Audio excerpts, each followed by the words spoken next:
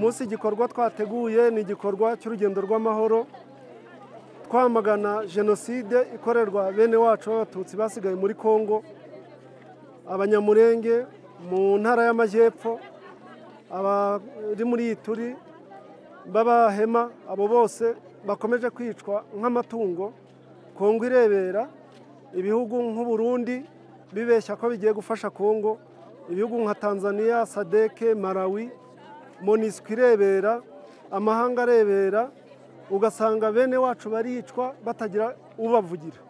Turashaka rero ko iri jwi ritambuka rikagera ku bandi bantu bashobora kubwira kisegeti guhagarika ubwicanyi maze bakamubwira yuko igihe kigeze kugira ngo dusubire iwacu muri congo turambiwe kuba mu nkambi.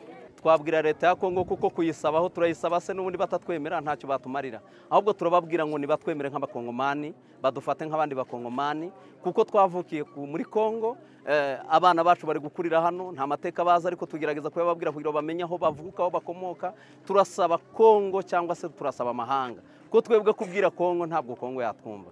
Turasaba imiryango mpuzamahanga batubwirire kongo itwemerere ihagarike ubwicanyi buri gukorwa muri congo kandi batwemerere dutahe dusubire iwacu. Ariko dufite icyizere cyo kuba tuzataha. Ngewe icyizere cya mbere mfite yuko tuzataha ni uko ubutegetsi bubi bwa kongo buzahanguka. Yego! Ubutegetsi bubi buzahanguka dusubire iwacu. Twamaganye jenoside iri gukorerwa